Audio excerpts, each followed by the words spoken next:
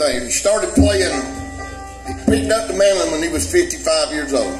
Okay? Two, the washer and dryer went out in his house. After he started playing the mandolin, and clothes was getting kind of thick, and his wife wasn't real pleased with him. So they took $1,400 to go buy a washer and dryer.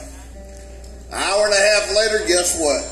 Willie comes home with that mandolin right there Yeah. and no washer and dryer. Had that had been me, I'd have got killed. I don't know about the rest of y'all, but I couldn't have got away with that. After I explained it to her, it was okay. I said, "Look here, sweetie." I called her sweetie. I said, "Sweetie, I can probably make this melon right here. I got a nice wood shop in the backyard." She said, "Yeah." I said, "I guarantee you one thing. I cut up ten thousand dollars worth of wood before I do." She said, "Oh, okay."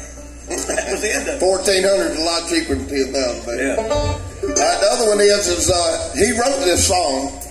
It's uh, called Monroe's Tune after Bill Monroe, but there's a catch. If I can do it. So it come out that Willie loves to go to the bathroom, and he stayed in there a long time, and that's where he practices. But at least Hey, I'm not the only in there, one. I'm not know. the only one, right, folks? Uh, he he he has the words and everything to the song. Yeah. Okay, and he comes out and brings this song to us, and it's awesome. And uh, I said, "Where's the words, Willie?" You know what he said? Well, there was no toilet paper. Yeah. So he used the words, so we don't have words. It's an instrumentalist, but he did write it. It's called Monroe's Tune after Bill Monroe.